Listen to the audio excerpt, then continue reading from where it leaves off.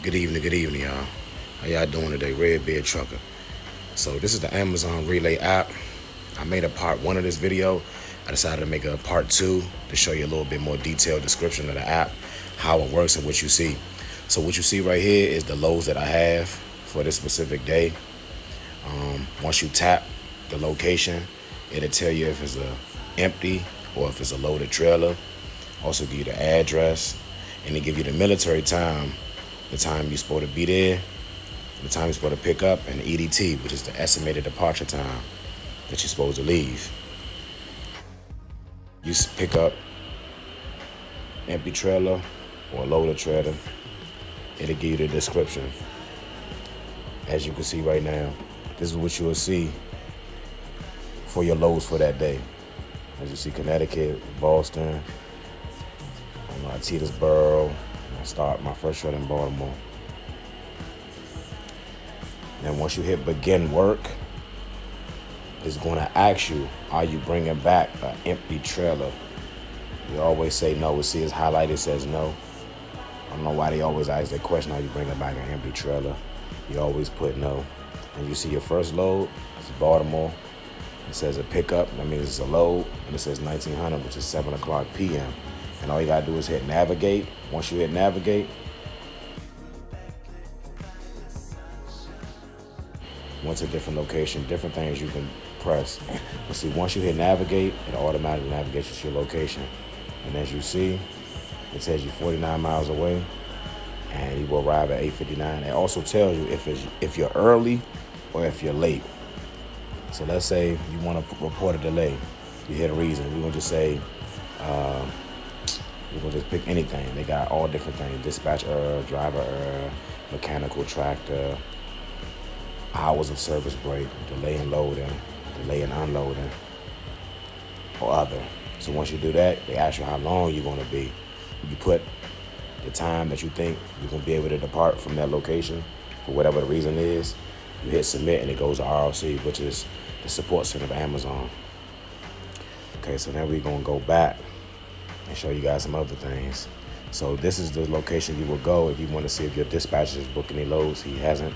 I only have that load that I'm currently on. So next we're gonna go to get a pass. That's only for your courier that, somebody else wanna put you on. Next, we can go to history. It shows you all the history of all the loads you've done for maybe I think it's two weeks from the day that from the day that you're on your current load. I think they keep it for maybe a week or two, if I'm not mistaken. Maybe more, maybe less. But you can go back and see how many loads you've done, where you've been. It don't show you how much it is. Your dispatcher will show you that information, but you can always go back and see all the places that you've been um, and all the loads that you've completed. You can go under your history right there. Then next, you go to your vehicles. This is very important. You put your license plate in. You put the state in the tractor. You do that when you first get in your truck because when you first put up to Amazon location, they read your license plate. Sometimes they don't even want to read your uh, your VRID. It's your basically your barcode on your phone that pops up when you get to their location. Next, you can call the support center, which is RLC or Amazon. They can help you with any issue you have, with trailer issues, delay in loading, cancel loads, etc. That's who you will call.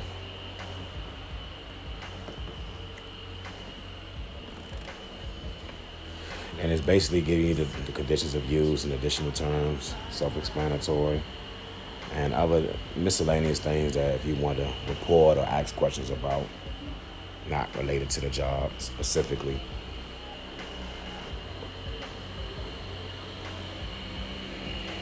So then you can go to your driver's name, put your name in, ask your driver's preference, class uh, city you have, do you have any endorsements.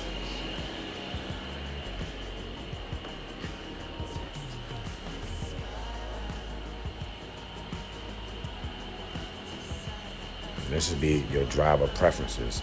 If you got any preferences, um, you like driving in the day or night? Do you like driving with teams? Um, and just other miscellaneous things you don't have to do. You don't have to fill this part out. It's optional. Not sure if they really look at that or not, but they have it on the app, so just utilize it.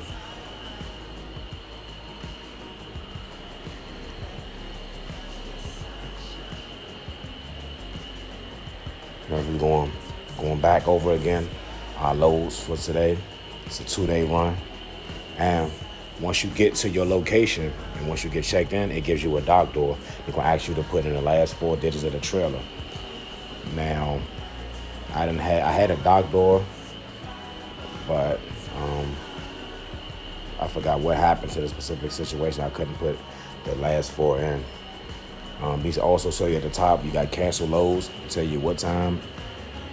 It, they won't tell you what time it was canceled, but they tell you your cancel loads from where it was going, where it's picking up and where it was going.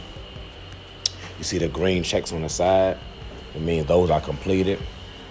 And the ones that's not a green check, that means they're still active. Is the barcode that pops up when you pull up the Amazon location once you reach your destination because the navigation is going to automatically detect that you've reached your destination at your arrival point.